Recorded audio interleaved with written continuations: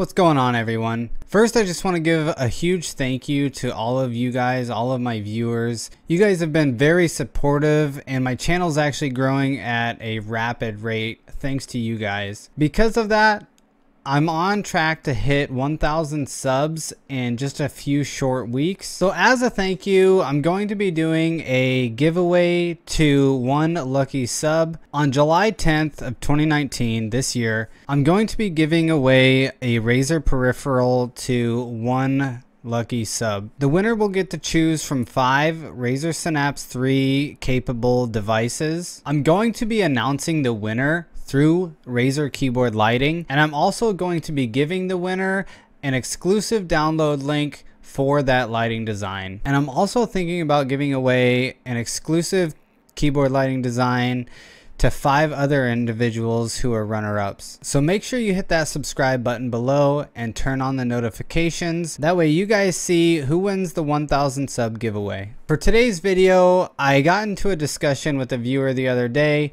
we discussed some keyboard lighting designs about Mario and Luigi. This viewer's name is Aaron Merriman, and what I basically came up with is the design that follows. We're gonna get right into this video.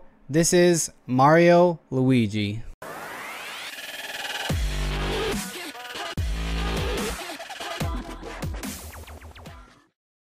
Alright, so here we go with Mario and Luigi. So what we're going to do is we're going to start off by changing this effect layer to a static. We're going to select all of our keys and we're going to make a white static. This is just going to be our base layer. Actually, what we're going to do is we're going to make that white a, a bit darker. Next, what we're going to do is we're going to add in a new layer and we're going to do the audio meter right off the bat. And what we're going to do with audio meter is we're going to select all of our keys, click on your color gradient bar, and you're going to choose a two-tone gradient right here. On the first node, you're going to have an invisible node, and on the very end, you're going to have a white one. And that looks good. What I like to do with my settings to make it pop more is drag these down to 0.25 and click auto. You guys might have different settings depending on how loud your audio is, but this is what works best for me. So now that we're done with the audio meter, I'm going to go ahead and start with the, the waves that change from red to green. So what we're going to do is we're going to add a new wave layer and we're just going to select all of the keys on our keyboard here. Click that color gradient drop down and we're going to choose a five tone wave, five nodes. And we're going to do this right here. We're going to take this yellow one and we're going to drag it all the way over to the left. We're going to take the green one and drag it all the way to the middle. And we're going to take the far right one and we're just going to close in the green one right there. The far right node we're going to make green. The second node we're going to make red. Third node we're going to make red. And the very first node we're going to make black. So we're going to make a hex code of zero one zero zero zero zero and we're going to do the same thing with this fourth node right here that's pinched in the middle zero one zero zero zero zero that looks good I'm going to click off of there I'm going to angle my wave at 270 degrees and I'm going to set my width percentage at 300%. You can mess around with your speed and make it whatever you want. I'm going to change mine down to 8. That all looks good and I'm going to go ahead and hit save. So now before I do anything else, what I'm going to do is I'm going to create the circle for my white lighting. Once I've selected those keys, I'm going to hit the delete key and what that's going to do is just going to delete out that red and green wave that you created. Okay, so now that we've done that, what we're going to do is we're going to click on our red and green wave and we're going to copy it. Any key that has the red and green wave, you can click on it and you can copy it select off so that you're not highlighting any keys. Hold control and we're going to select out the shape of an M. So now that I've kind of selected out the shape of an M, I'm going to go ahead and paste it in there. So what we have right now is we have the M shape in the middle of our keyboard that's going red and green. And what we really want is for that M shape to light up red. And then when the green comes in, we want the M shape to go away. So for this to happen, what we have to do is we have to select the shape of the M, which is already selected. Click on your color gradient And in place of the green, we can go ahead and just put in invisible and hit save. So now when the red comes on, it will highlight with a, a red M. And when the green comes on, the shape will disappear. And real quick to fix something, if you have a Razer mouse, go ahead and select the lighting that you did for that mouse and delete it. And we'll go and add lighting to it later. It just messes up timing with your lighting. As you can see in the middle of the keyboard, we have a timing issue. So this is going really slow in here and the whole keyboard is going really fast. and the reason that they're running at different speeds is because this wave effect has a different color gradient than this wave effect. Now, this gradient doesn't have a very far distance to cover 300%, whereas this has to cover the whole keyboard in the same amount of time. So this is going to run a lot slower than the lighting on the whole keyboard. What you have to do to match that timing is you have to copy the one that's red and clear. So you can copy that code.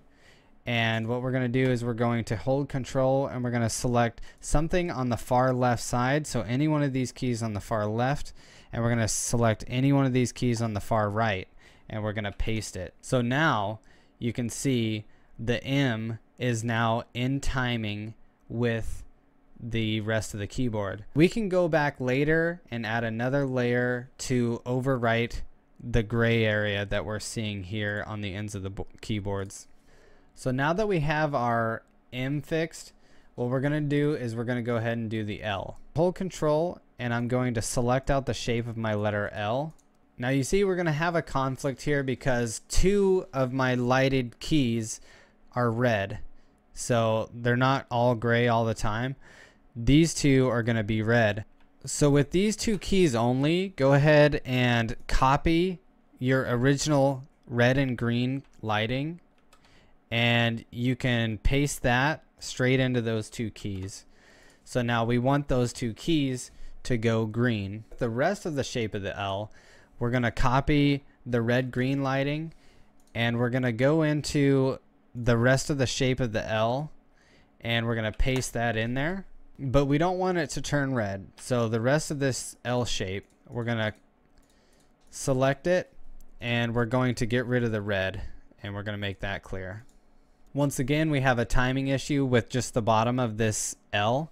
So we're going to select those keys and we're going to copy it and we're going to go to a different key on the ends of the keyboard. I'm going to choose this one and I'm going to choose this one over here and I'm going to hit paste. So now both the L and the M are on the same timing as the rest of the lighting on the keyboard. So now we just need to go over the ends of the keyboard to hide our timing fix and we're also going to apply our Razer mouse. We're going to select our wave layer and we're going to right click and duplicate the layer. With this new wave layer I'm just going to change it to wave 1.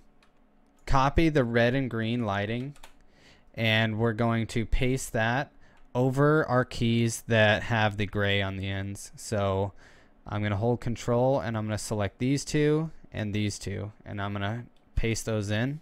Now I'm going to select all of the keys on the keyboard except these two that we just changed and I'm to delete them out and hit save. Now if you have a Razer mouse, what you're to do with this new wave layer is you're going to copy the red and green and you're going to paste that over the mouse. But to make it so the timing works out correctly, you're to have to change your lighting just a little bit. What we're to do is we're to change this black node here to be 010001.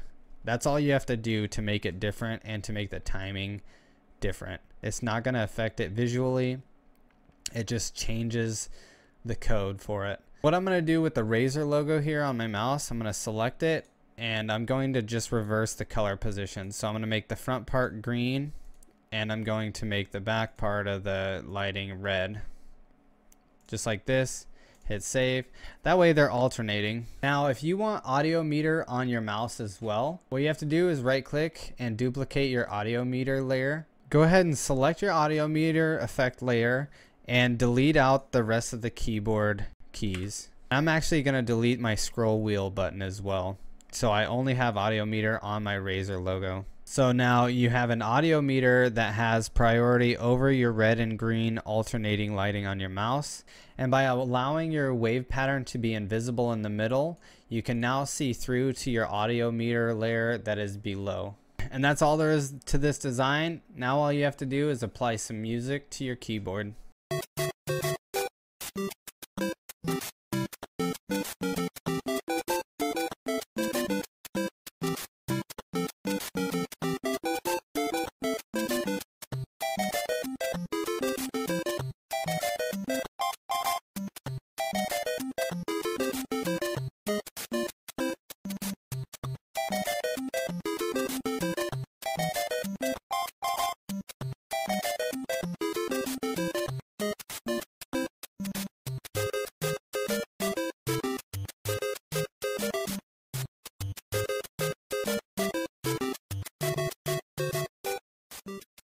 Make sure you guys hit that subscribe button down below. That way you guys are entered in my 1000 sub giveaway. The giveaway will take place on July 10th of 2019. Also, make your way over to my social media accounts, both Instagram and Twitter. Make sure you guys follow me on there as I'm always posting teasers of upcoming keyboard lighting videos, as well as some other stuff in the gaming community that you guys might be interested in. Thank you guys so much for watching this video, and I'll see you guys in the next one.